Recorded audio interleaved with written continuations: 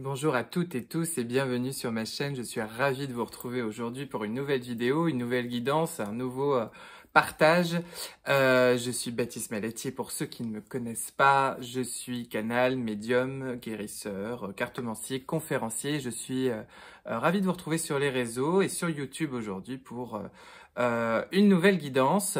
Euh, comme d'habitude, je le rappelle toujours en début de vidéo, euh, c'est les instants télé-shopping. Vous, pour ceux qui demandent des consultations individuelles, des séances individuelles, il y a la petite adresse rdv.baptismelatier.gmail.com. Il n'y a absolument pas de piège, on n'est pas allé chercher loin. Et aussi pour tous ceux, c'est la semaine prochaine, ceux qui sont intéressés par le sommet organisé par Rayonnance TV, le sommet galactique en ligne vous avez, euh, euh, nous sommes une bonne dizaine d'intervenants différents euh, euh, dans lequel nous allons vous, vous proposer chacun un atelier. Et vous avez un pack global pour pour pour pour pouvoir acheter et bénéficier de de, de nos enseignements dont je fais partie. le mien, ce sera le, le 11 juin, un atelier sur les multidimensions pour bien expliquer concrètement ce que sont les les différentes dimensions, en quoi nous sommes multidimensionnels, en quoi nous vivons sur plusieurs plans en même temps et en quoi il y a là une clé euh, pour nous libérer de nos conditionnements un peu lourds d'humains et comment nous pouvons se servir de cette connaissance-là et de cette énergie-là pour ascensionner. Il y a un lien d'affiliation, je vous le remets en bas de la vidéo, ça démarre la semaine prochaine pour tous ceux qui sont intéressés. Voilà. Euh, Aujourd'hui, je voulais vous retrouver pour euh, non pas une guidance pleine lune, nouvelle lune, ni même une guidance un peu générale du moment, mais pour aborder un sujet euh, euh, qui me semble assez important, que je constate moi, que je ressens de la part de mes maîtres, de mes guides galactiques, et puis que je vois beaucoup en séance en ce moment, forcément, hein, tout se recoupe. C'est la question de la dépendance affective. Euh, vous êtes nombreux, nous sommes nombreux en ce moment à, à être un peu au cœur de la bataille, au cœur d'un vrai cap que nous sommes en train de passer euh, dans, dans, dans, dans, un changement de cycle. Nous sommes en train de, de, de faire bouger nos, nos solder beaucoup de karma. Je ne fais que parler de ça, mais c'est vrai que c'est absolument colossal. On se rend compte que tout bouge vite, à quel point là, même parfois en une demi-journée, une semaine, quinze jours, nos vies, elles changent, elles changent, elles se, elles se recomposent, elles se redécoupent presque automatiquement suivant nos choix, suivant nos, nos, manières de penser, suivant nos demandes, et c'est absolument dingue. Euh, c'est les débuts de la, de la, nouvelle ère hein, et de, de, la cinquième dimension. C'est le, c'est là où on voit à quel point la matrice euh, est épouse de l'esprit. Et, euh, et, notamment, il y a un sujet, euh, c'est celui de cette dépendance affective. Dans ces, karmas que l'on solde, alors ça peut être éventuellement même au travers d'un partenariat professionnel, mais c'est vrai qu'on a beaucoup traversé ces dernières années et en ce moment des vraies problématiques avec en lien avec une ou plusieurs âmes avec lesquelles on a eu une, une relation amoureuse. Alors ça peut être carrément la, la relation d'âme sacrée, flamme jumelle, âme sœur, etc. Je rentre pas dans les détails de, du découpage, de euh, c'est véridique ou c'est un peu du mental, tout ça. Bon, tous les cas, quand on vit une relation vraiment karmique, forte, ou même qui va vers quelque chose d'assez sacré, comme on dit, avec des liens assez puissants, bon, de toute façon, quoi qu'il arrive, quelle que soit l'échelle et quel que soit le degré, on vit quelque chose d'intense qui va aller s'exprimer dans une relation amoureuse, dans une relation amicale, dans une relation professionnelle même pour certains, ou pour d'autres, et eh ben les trois en même temps, hein, les enfants. et, euh, et, et, au travers de ça, ça a beau être euh, des histoires merveilleuse, des reconnexions merveilleuses, quelque chose où c'est comme si c'était venu vous toucher en plein cœur, c'est comme si c'était venu vous rappeler pourquoi quelque part vous vous êtes venu incarner dans ce monde, pourquoi vous êtes ainsi, pourquoi vous avez toujours pensé comme ça, pourquoi vous avez eu tel parent, telle expérience, pourquoi vous avez toujours été passionné par ça, et vous vous prenez moult synchronicité, moult évidence, une vraie, une vraie, un vrai sentiment de retrouvailles, et en même temps, eh ben c'est pas l'osmose. C'est pas merveilleux, ou peut-être pas tout de suite, et ça se fait plus tard euh, dans une deuxième partie de votre vie, ou même euh, pour euh, pour une prochaine vie, ou même ça, ça termine en fait des belles histoires, mais avec toute leur lourdeur qui se sont vécues sur plusieurs vies, et puis en fait c'est l'heure de d'un de, d'un dernier bilan, d'un dernier travail, et en fait vous vous séparez pour les prochaines, ou peut-être même pour certains d'entre vous c'est des retrouvailles ici qui sont pas tout à fait simples, pas tout à fait tout en ressentant une connexion très très forte avec la personne parce que sur d'autres plans en même temps vous êtes ensemble, en amour, connectés et c'est pas simple. Euh, Et tout ça vient toucher cette question d'être en dépendance affective, là où justement vous sentiez souvent que vous aviez pourtant bien travaillé cette question de la dépendance, euh, que vous aviez le sentiment d'avoir passé des vrais paliers pour vous aimer, puis là, bah, paf, euh, c'est un petit peu une relation très forte comme ça, un, un vrai une vraie connexion d'âme, un vrai lien d'âme qui vient euh, vous mettre la barre un peu plus haut, qui vient un peu vous challenger. Et c'est dur et vous avez l'impression de, de, retourner en bas de vos cycles. Vous avez l'impression, au contraire, c'est même pas que vous êtes retourné en bas, c'est que vous avez l'impression de ne pas vous en sortir. Et ça vient appuyer, ça vient faire écho à une nostalgie de l'ailleurs aussi assez forte quelque part. Parce que de la mémoire originelle euh, de la fusion originelle euh, d'amour inconditionnel que vous êtes, que vous venez incarner euh, ou essayer de travailler, cultiver ici sous différents angles et de bien des manières, de cette mémoire originelle du Père-Mère divin auquel vous faites partie, duquel vous êtes entièrement relié, vous descendez dans la matière, le transposez sur un couple parental, quel que soit le schéma que vous, quel que soit votre schéma parental dans cette incarnation, hein, finalement, euh, de cet amour inconditionnel père-mère divin, on vient déjà faire un travail conditionnel euh, père-mère humain, et puis de cela va venir se, se, travailler au-delà de l'expérience euh, la question de la connexion avec son origine, la question de la connexion avec ses, plans supérieurs, les problématiques de connexion avec son âme, d'amour de soi, de respect de soi, et puis euh, cette, euh, et puis ensuite forcément on entame une relation un petit peu de dépendance euh, parfois avec euh, avec le spirituel, avec euh, le plan supérieur, avec le divin qu'on va aller travailler peut-être d'abord dans une religion ou au contraire en, en, en, l'excluant complètement, et puis ensuite en allant s'éveiller de plus en plus, en étant accro à des enseignements, à des pratiques, à du yoga, des méditations, bref, peu importe, tous les visages uh, expriment une route vers le divin et vers l'ascensionnement, rappelez-vous.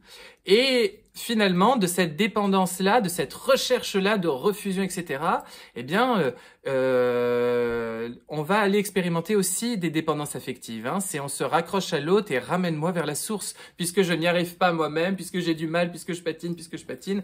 Ramène-moi toi comme un bon vieux radeau, euh, solide et puissant. Ramène-moi vers la source, ramène-moi euh, vers un sentiment justement d'unité qui m'a tant manqué, ce sentiment de compréhension, ces yeux euh, qui me parlent et avec lesquels je me sens bien, je me sens dans la maison, je me sens dans la famille, etc., etc.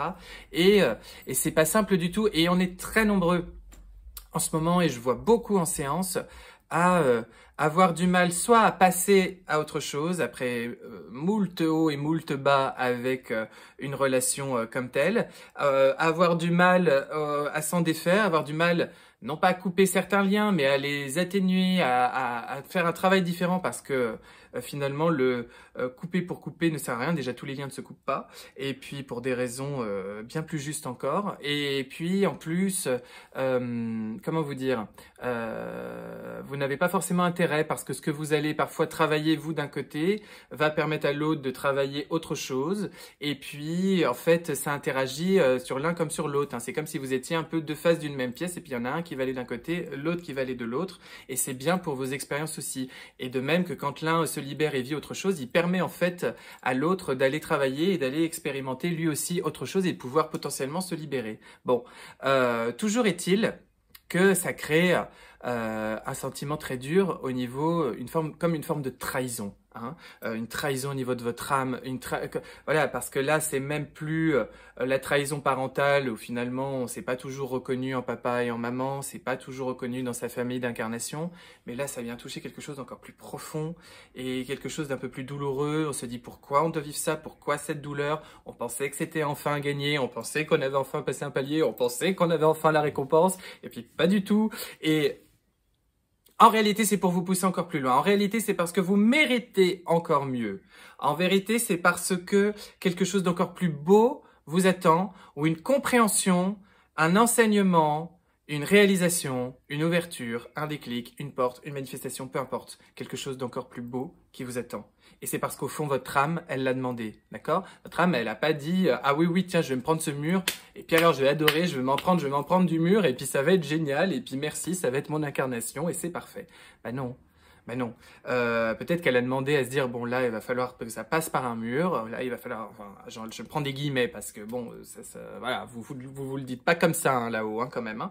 Et puis euh, Parfois, on est un petit peu obligé de vous orienter ainsi pour que vous le, compreniez, que vous l'intégrez. Mais c'est parce que derrière, vous avez en général choisi de vous sortir d'un schéma. Faut pas oublier qu'on arrive à la fin d'un très très grand cycle euh, d'incarnation dans une 3D, 4D qui vous a permis d'aller expérimenter tout un tas de choses et que peut-être que c'est l'heure d'aller ouvrir d'autres portes que vous n'aviez pas pu vous permettre de franchir ni d'ouvrir dans d'autres vies et que là, avec les nouvelles énergies, avec cette nouvelle reconnexion, avec ce passage vers la 5D, ce passage où vous allez quitter un petit peu cette 3D, 4D, cette matière et ces expériences à un certain niveau pour aller sur un niveau supérieur, bah c'est le moment en fait idéal on vous dit mais non, là tu vas passer à un niveau supérieur, tu vas aller expérimenter un autre type de relation. La vie est toujours bien faite, tout est toujours juste, c'est l'amour qui gagne toujours, peu importe comment après. Et, et en fait, eh ben, c'est le moment idéal d'aller ouvrir d'autres portes. Donc si vous voulez, dans cette grande transition là de ce que l'on vit au niveau collectif, je vous parle beaucoup dans mes partages et dans mes enseignements euh, des, les euh, comment vous dire bah, que vous soldez beaucoup de karma, que vous changez de cycle, etc. Ça passe très souvent par un travail très précis avec une ou plusieurs euh, âmes avec lesquelles vous avez un, un, lien très fort, un lien karmique très puissant, un lien sacré, un lien même de famille d'âme, et que finalement vous faites un travail particulier où euh, bah, tout n'est pas rose, tout n'est pas simple, où euh, finalement euh, vous avez la mémoire au travers de cette personne de quelque chose de très pur, de très inconditionnel, de très beau, mais finalement dans la matière, ça n'est pas tout à fait ainsi que ça se passe parce que l'autre fait un autre travail ou parce qu'il n'a pas fini de travailler correctement euh, euh, ce qu'il devait intégrer ou parce que justement il vous pousse par son rejet, par sa trahison, par son abandon, par son humiliation, par que sais-je, il vous, par sa violence, il vous pousse au contraire à aller encore plus loin vers vous-même et à vous aimer, vous, tel que vous êtes, encore plus loin, encore plus profondément, et à aller faire descendre, faire naître, faire jaillir, faire exploser, imploser, tout ce que vous voulez, cet amour immense à l'intérieur de vous, pour que vous puissiez enfin passer ce cap vibratoire, et ainsi redécouper les choses dans la matière, et pour la prochaine vie, et pour l'entre-deux-vie, et pour, bref, la suite de votre parcours, la suite de votre évolution. Sachez que ce sont en plus toujours des relations extrêmement exigeantes parce que finalement l'autre est toujours en miroir de ce qu'il se passe à l'intérieur de vous. Donc tous les blocages, les murs, les trucs qui coincent qu'il vous renvoie, c'est qu'ils sont aussi en vous. Tout le temps. Donc, ça pète directement parce qu'en fait, c'est, alors c'est toujours le cas. Euh, ce qui se passe dans l'extérieur est en miroir de ce qui se passe à l'intérieur. Mais comment vous dire? C'est comme si c'était encore plus saillant, encore plus évident, encore plus offensif voilà, c'est même pas euh, ah c'est pas très aligné, ça va pas aller bien là. Non non, c'est ça casse tout de suite, ça casse tout de suite. Donc et on a tendance, en fait, à rentrer très vite dans une relation de dépendance parce que derrière, encore une fois, c'est les deux, c'est corrélé, enfin c'est comme ça qu'on le, le montre, c'est qu'il y a la transposition de cette dépendance c'est pas cette quête de de de de, de l'ailleurs, cette nostalgie de l'ailleurs, cette quête de la source que vous cherchez à retrouver, mais en même temps sans être tout à fait prêt à aller la retrouver pleinement. Elle implique d'aller vivre des expériences avec des âmes comme vous le faites tous les jours dans votre vie, pour pouvoir aller vous faire travailler, pour pouvoir vous amener vers cet ascensionnement-là, pour toujours vous renvoyer en miroir vers vous-même et vous faire avancer, vous faire cheminer, vous faire évoluer. Et que du coup, en général, quand vous n'êtes pas encore assez dans un inconditionnel amour de vous-même, de votre âme, de cette vie que vous vous êtes choisi, de tout ce que vous pouvez y expérimenter, y savourer chaque jour quand vous vous y réveillez le matin, et eh ben du coup, euh, vous rentrez un petit peu, vous avez tendance à rentrer dans une dépendance dans le lien d'âme, dans une relation d'âme, dans une histoire d'amour, d'amitié, de, travail, bref, n'importe laquelle, qui, comme si vous attendiez de l'autre qui vous donne enfin ce que vous n'avez pas toujours pu recevoir ailleurs, alors qu'il faut d'abord vous le donner pour vous, il faut d'abord mettre en condition pour le recevoir vous, il faut d'abord faire ce travail en vous de le mériter, de le recevoir, de l'accueillir, d'y être prêt, euh, et puis ensuite, eh ben, ça débloque tout. Et parfois de faire ce saut euh, d'accepter de, de s'éloigner un petit peu de cette dépendance-là affective, de faire ce saut, très dur, très douloureux. Euh, en réalité, c'est magique derrière et on est euh, merveilleusement récompensé. Voilà. parce que derrière c'est extrêmement soulageant, parce que de toute façon, euh, on se rend bien compte qu'on en sort usé, usé, usé de cette dépendance-là. Usé, usé, usé. Et puis surtout, vous attendez souvent de l'autre quelque chose qu'il n'est pas en mesure de vous donner. Euh, parce qu'il n'en est pas là, ou parce que vous aimez quelque chose de lui qui est raccroché sur d'autres plans, sur d'autres vies, sur d'autres éléments, mais qui ne sont pas forcément là face à vous, parce que dans la matière, il vous, il vous permet pas de faire ce même travail. Hein et parfois, souvent, derrière, il y a un, il y a un vrai don d'amour qui est caché derrière toute cette violence ou toute cette, euh, voilà, tout, tout ce truc un peu lourd qui va venir s'exprimer sur d'autres plans, c'est un vrai don d'amour. C'est comme si l'autre vous disait souvent euh, Mais allez, toi, vas-y, libère-toi et change ton paradigme. Change ton paradigme, je te le permets, je te le propose. Euh, finalement, je ne suis pas ton mur, je suis ta porte pour aller vers autre chose. Et, et c'est souvent comme ça. Alors, voilà, derrière, alors bien sûr, hein, on peut employer différents termes. Hein. Il, y a, des relations âmes sœurs, il y a des relations flammes jumelles ou qui sont encore en travail. Euh, il y a des relations, il y a des relations karmiques lourdes.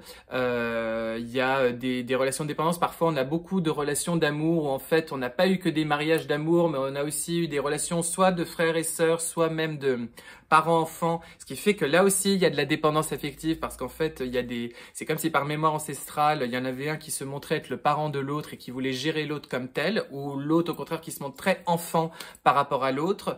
Euh, voilà, ça s'exprime très très souvent. C'est normal, on arrive aussi à la fin d'un grand grand cycle où notre âme, elle a pu aller expérimenter, elle a travaillé différentes choses, et puis là, bah, c'est le moment de, de solder tout ça, de se libérer, mais c'est avant tout pour soi, pour ascensionner. Et en fait, dans ce grand processus d'aller vers cette nouvelle ère, d'aller vers cette nouvelle humanité, euh, bah, euh, de manière tout à fait idéale, c'est comme si là-haut, on vous disait, bah, ça passera par cette relation-là, ou en tous les cas, par aller traverser, travailler cette question de dépendance à l'autre, ou à plusieurs, parce que vous êtes aussi euh, nombreux à en avoir eu un, deux, trois, ou à répéter souvent les mêmes schémas avec plusieurs, plusieurs belles âmes, ou en tout cas des âmes avec du karma et pas mal de choses, un vrai sentiment de fusion, que vous me retravaillez à l'image de la fusion originelle, et puis en fait derrière, euh, plutôt que d'aller vous rendre compte que c'est là, c'est pour vous depuis le début, ça vous est donné, ça vous est, euh, vous avez tout, tout, tout en vous, et que vous avez juste à le vivre comme un jeu et à, et à comprendre cela, et bah derrière en fait vous rentrez très vite en ça devient tellement un besoin que vous rentrez en dépendance plutôt que de juste aller accueillir et à vous laisser euh, porter comme ça par, par ce flot d'expérience. Donc, c'est quelque chose de logique, hein, on vous, on vous tape pas sur les doigts hein, aujourd'hui, hein, c'est quelque chose de logique, c'est quelque chose de compréhensif, c'est quelque chose où euh, on me dit dans, dans des tas de mondes ou planètes dans lesquels euh, un certain niveau de conscience de vie humaine comme vous le vivez en ce moment a été amené ensuite à transiter et à monter voilà, vous avez été euh, c'est un grand classique pour les âmes, c'est un grand passage d'aller traverser ça. C'est ce qui vous permet le plus d'avancer. Euh, on a un petit peu, vous avez un petit peu le sentiment que c'est bah, tout ça pour ça. Euh, toute cette souffrance, j'en ai marre. Vous êtes fatigué, vous êtes usé, mais tenez bon, tenez le coup parce que c'est qu'un enseignement pour le meilleur respect de soi. Parce qu'à partir de là, ça change tout. Ensuite, vous allez avoir une assise. Et puis, et puis, et puis, ça vous fait passer du palier spirituel et donc de la retrouvaille de capacités et de talents, de dons, de facultés que vous avez en vous. C'est ça aussi. C'est que vous vous rendrez compte derrière que euh, c'est comme si votre intuition, certaines de vos capacités, tout ça, qu'après vous allez l'exprimer euh, sur un plan professionnel ou pas, ou pas du tout, ou au travers de tout ce que vous avez à vivre par ailleurs, parce que bon, je le rappelle, hein, euh, bon, je veux dire, être ascensionné et se connecter spirituellement, découvrir euh, ces missions d'âme avec tout ce qu'on peut mettre derrière, c'est pas euh, une activité pro, hein, forcément, hein, loin de là, hein, d'ailleurs. Et mais en tous les cas, ça, ça, déverrouille plein de choses. Bah oui, forcément, vous passez un palier, forcément. Je veux dire, ce que vous allez vivre à un certain niveau dans la matière est juste en écho de vos besoins de croissance, toujours, toujours. Donc, les enfants, voilà, je voulais faire ce partage parce que je pense qu'il va parler à pas mal de gens. Moi, je le vois beaucoup autour de moi, je le vois beaucoup en séance individuelle. Euh, voilà, il y a, cette vraie notion qui finalement là aussi vient faire écho à euh, bah, je, rentre en dépendance parce que finalement je me la joue encore euh, assez humain qui ne se réapproprie pas suffisamment son identité divine. Donc je me comporte encore euh, comme un enfant qui regarde ses parents et qui attend qu'on lui donne la béquille, la solution, euh, qu'on efface ses erreurs. Euh, je me comporte encore comme quelqu'un de très pieux, mais qui attend la bonne parole dans son église, sa synagogue, sa mosquée, son temple, peu importe. Je me... Il y a quelque chose encore de très juvénile, de très déresponsabilisant et qui a besoin, comme vous avez eu besoin d'un papa et d'une maman, comme vous recherchez peut-être le père ou la mère, comme vous recherchez le mari ou la, ou la femme, comme vous recherchez voilà ce qui va vous faire sentir unis, réunis en famille, en maison, en sécurité, eh ben vous vous transposez ça aussi bien sûr sur le plan spirituel, mais très vite quand il s'agit d'un lien d'âme assez fort avec avec des âmes avec lesquelles vous avez vécu beaucoup beaucoup et notamment des belles choses. il y a ce grand besoin de vous y accrocher, de vous y atteler, sans voir forcément les vrais visages, sans voir forcément ce qui cloche, et en négociant, négociant, négociant beaucoup de choses, beaucoup trop de vous. Euh, et c'est notamment sur ce printemps, en ce moment, en 2023, année 7, année de victoire à aller chercher, qu'on vous demande beaucoup de ce point de vue-là. Ça peut être aussi une relation avec l'un de vos parents hein, dont je parle. Ça peut, vous, vous, vous le transposer à, là où ça vous parle. Mais il y a vraiment ça, de, de la dépendance émotionnelle et spirituelle, à la, à la, à la dépendance affective, euh, toujours cette quête de, de, de l'ailleurs et, et, qui vient passer par cette correction comme ça de, de ce que vous vibrez mal, de ce qui n'est pas suffisamment, euh, ce qui ne respire pas suffisamment l'amour avec un grand A et qui vibre et qui s'harmonise comme ça tout autour de vous et qui du coup ne permet pas à ce que ça descende et à ce que ça se manifeste en bas euh, dans la matière. Voilà. Euh, c'était important d'en parler, vous êtes nombreux à le vivre, euh, c'est important en tout cas d'aller le travailler. Voilà, c'est aussi ça du coup. C'est important d'aller au bout de ce travail, au bout de son concept, comme on me dit. Moi, je dis toujours, je préfère une âme qui expérimente à fond, même quelque chose qui en soi, je mets 12 guillemets parce que ça n'a pas de sens de dire ça, mais qui en soi n'est pas bien, mais ça ne veut rien dire, vous avez bien compris, tout est, rien n'est ni bien ni mal, tout est juste, voilà. Je préfère quelqu'un qui expérimente à fond son concept parce qu'au moins, c'est utile pour son âme, voyez? Vous expérimentez. Donc au moins votre âme, elle le vit, elle apprend et elle pourra en, déduire une leçon, un enseignement et passer à autre chose. Je préfère ça à une âme qui s'endort à une âme endormie, à une âme euh, euh, qui tourne en rond euh, comme un poisson dans un bocal, à une âme qui, s'endort sur son, sur, son, sur son truc parce que finalement elle n'expérimente pas et elle ne se saisit pas de son opportunité, de sa proposition pour avancer. Donc elle va rester un petit peu là longtemps. Moi je préfère, même quand vous vous enfoncez dans, dans quelque chose, ça nous arrive à tous de nous enfoncer dans quelque chose, bah, moi, je me dis, c'est bien, on va au bout du concept. Hein. Et puis, ma foi, après, bah, le jour où l'âme, elle va s'ennuyer, parce que ça, c'est le plus beau cadeau que vous fait euh, le divin, c'est que votre âme, au bout d'un moment, elle s'ennuie, donc elle a envie d'aller expérimenter autre chose. Et cet ennui, va, de, l'ennui va jaillir le désir, et du désir va jaillir euh, une, un nouveau besoin, et, et de tout ça va jaillir des nouvelles vibrations, et de ces nouvelles vibrations va jaillir une nouvelle expérience. Donc finalement, c'est chouette aussi ainsi. Voilà. Et c'est l'amour qui gagne toujours. Toujours, toujours, toujours. Ok, les enfants? Alors, bah, je vous souhaite une belle après-midi, un bon moment, parce que je vous dis ça, mais enfin, vous allez peut-être pas regarder cette vidéo un après-midi. Je vous embrasse, j'espère que vous allez bien. On va se retrouver très vite parce qu'il y a une pleine lune euh, qui pointe le bout de son nez. Et puis, euh, et puis pour d'autres partages, d'autres guidants sur d'autres thématiques. Et voilà. Et puis encore une fois, le sommet galactique de rayonnance, c'est la semaine prochaine. Donc si ça vous intéresse, allez voir le lien d'affiliation que je vais vous partager en dessous. Je vous fais des gros bisous et portez-vous bien et aimez-vous. J'allais dire aimez-vous, bordel de merde. Mais oui, non, quand même. Aimez-vous, aimez-vous, aimez-vous. C'est la clé. La clé reste l'amour. Tout est simple. Tout est toujours simple. C'est juste nous, on grandit dans un monde où on nous fait croire que tout est compliqué. En fait, c'est pas du tout le cas. Hein, Rappelez-vous, vous vous dépouillez, vous vous dépouillez, vous vous dépouillez, vous allez vers votre essence et vous retrouvez l'essentiel. Je vous laisse jouer avec la sémantique. Allez, je vous embrasse, bisous bisous